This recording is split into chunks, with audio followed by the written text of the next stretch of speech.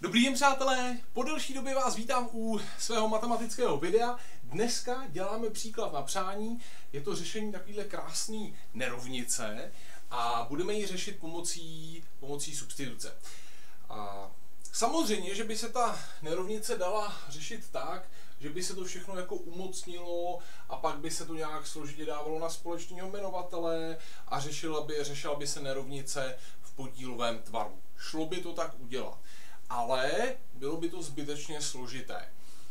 Tady uh, využijeme toho, že se dá udělat krásná substituce a vy si jako všímáte samozřejmě, že budeme substituovat ty závorky. Jo, mám tady x minus 1 lomeno x plus 2, to celý na druhou, minus 5 krát to samý plus 6. Jo? Či já, když zasubstituju tu závorku za nějakou novou proměnou, třeba za Ačko, tak tady dostanu nějakou kvadratickou nerovnici v Ačkách. Jo? A potom vyřešíme, jaký musí být A a vrátíme se zpátky do té do tý substituce. Jo? A budeme řešit pořád jako hrozně jednoduché věci.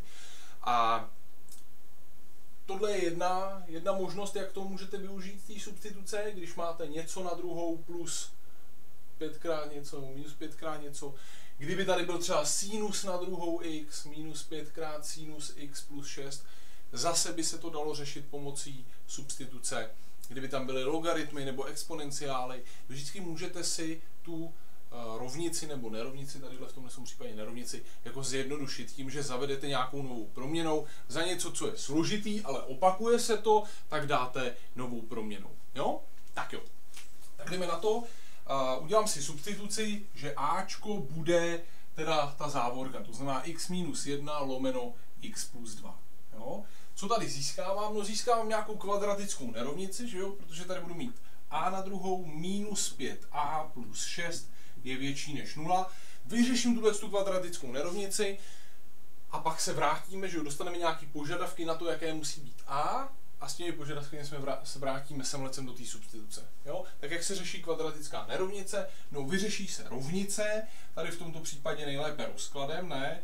Tak, co a minus minus 2 a minus 3 ne, minus 2 krát minus 3 je plus 6, minus 2 minus 3 je minus 5. Takže a minus 2 krát a minus 3 má být větší než 0. To znamená, že a1 je 2 a a2 je 3. Jo? Tak, kvadratická nerovnice se řeší tak, že vyřeším rovnici, najdu kořeny, nakreslím si graf a vykoukám řešení tadyhle je dvojka, tadyhle je trojka. Kreslím ten graf takhle. Proč? No, protože ta parabola, která je grafem kvadratické funkce, je otevřená nahoru. Proč? Protože tady u toho kvadrátu, u tý, většinou to bývá x na druhou, ale tadyhle ten koeficient je kladný. Jo? Tak ta parabola je otevřená nahoru. To znamená, my to, a my to my jsme chtěli mít tu, uh, tu funkci kvadratickou kladnou, větší než 0, čili to, to je tahle ta část a tahle ta část té paraboly. To znamená, že to Ačko musí být buď to větší než 3, anebo menší než 2. Jo? Tak si to tady napíšu. Ačko je větší než 3, nebo latinské, eh, teda respektive logická spojka nebo z latinského vel, což znamená nebo, a nebo A je menší než 2. Jo? Tak, jsme ještě v obraze, jsme v obraze, bezva. OK. Uh, no a půjdeme zpátky. Čili budeme řešit, a co je to Ačko? Ačko je x minus 1 lomeno x plus 2. Takže budu teď řešit dvě nerovnice. Jedna nerovnice bude x minus 1 lomeno x plus 2 je větší než 3, a nebo x minus 1 lomeno x plus 2 bude menší než 2. Jo? Dostanu dvě nerovnice, protože je mezi nimi nebo, tak potom budu sjednocovat ty jejich řešení. No, super. Tak, to už nepotřebuju, takže si to smáznu a, a jdeme na to. Takže Ačko má být větší než 3, to znamená řeším, že x minus 1 lomeno x plus 2 je větší než 3. Jo?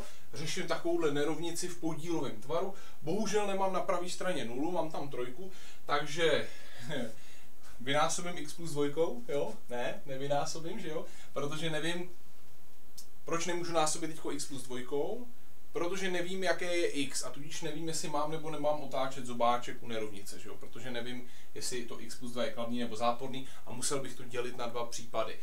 zbytečně složitý, udělám to tak, že převedu trojku doleva, takže dostanu x minus 1 lomeno x plus 2. Kdo teďko neví, o čem mluvím, tak se mrkněte na nějaký moje videa o nerovnicích v podílovém tvaru. Jo?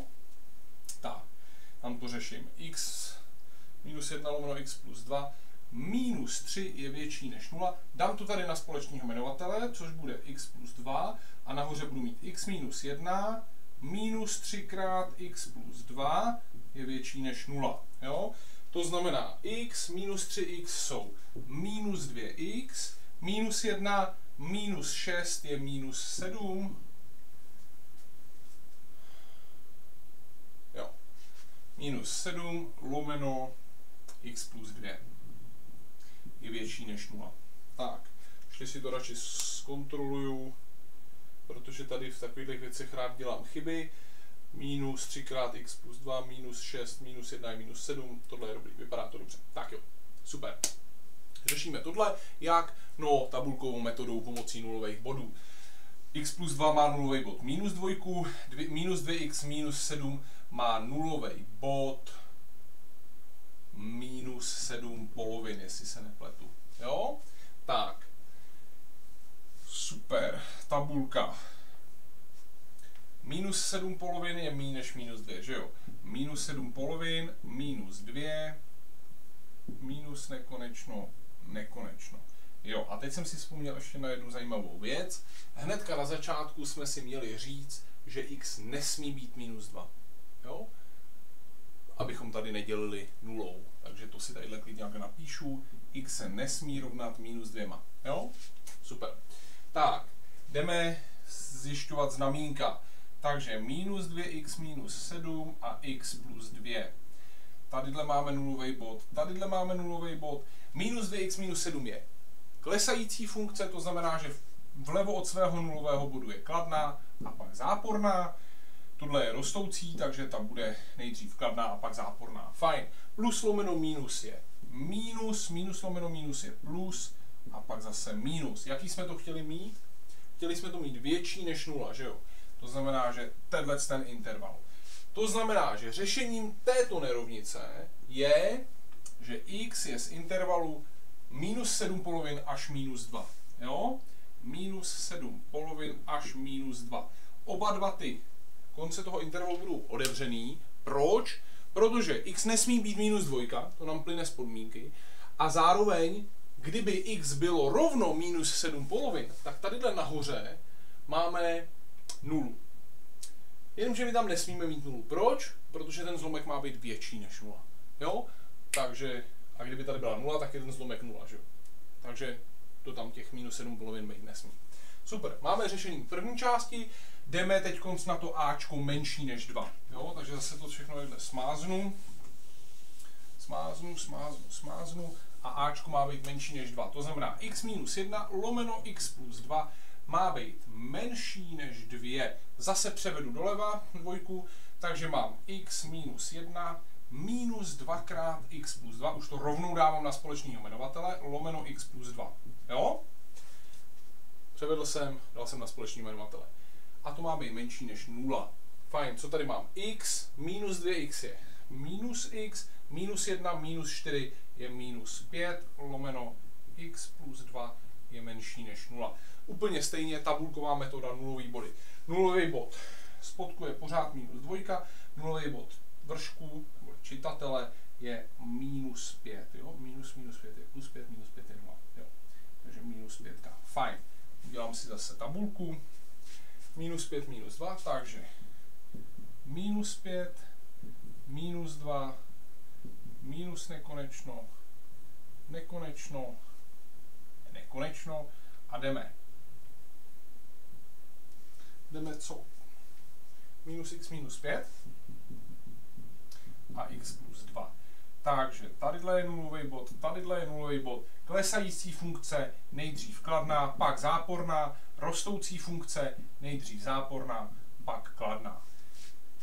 Fajn, to znamená plus lomeno minus je minus plus minus. Jaký jsme to chtěli mít? Chtěli jsme to mít menší než nula, neboli záporný. Jo? To znamená tenhle interval a tenhle interval.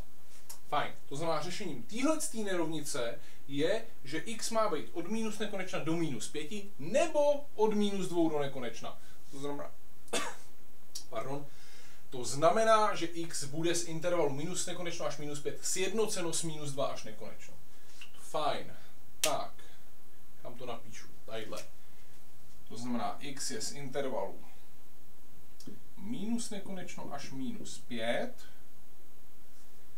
sjednoceno minus 2 až nekonečno. Tak, a teď máme sjednotit tuhle věc a tuhle věc. Jo? Takže, hele, minus nekonečno až minus 5, pak bude děura, že jo? Minus 7 polovin, to je, tak minu, to je minus 3,5, že jo? To znamená minus 7 polovin až minus 2 a pak sjednotíme minus 2 až nekonečno. Čili celkově to prosím vás bude takhle.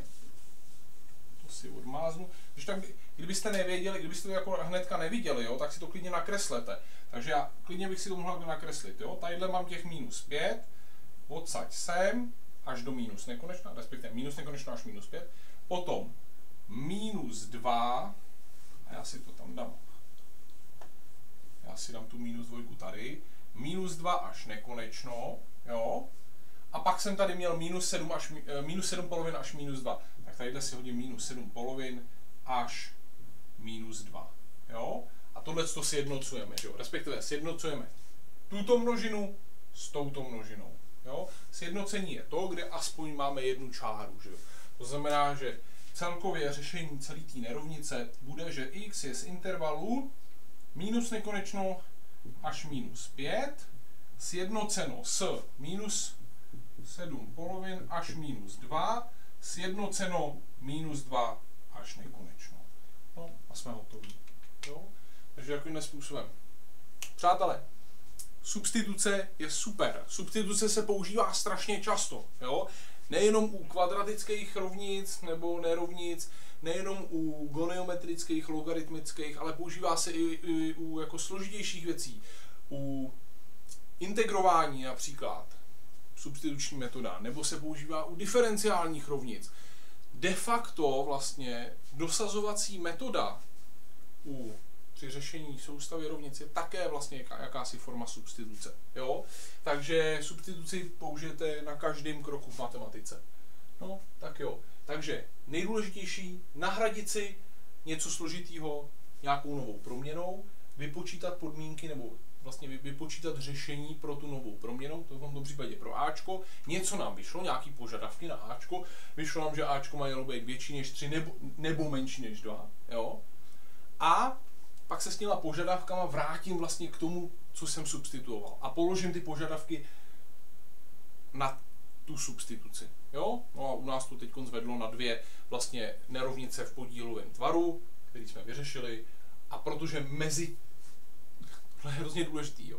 Protože tady bylo nebo, jsme si jednocovali ty řešení. Kdyby tady bylo a zároveň, tak bychom dělali průnik. Tak jo, přátelé, díky, mějte se krásně a uvidíme se u dalších. Ciao.